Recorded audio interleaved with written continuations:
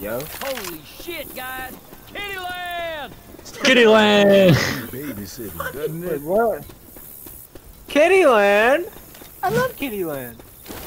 Wait, Yeah,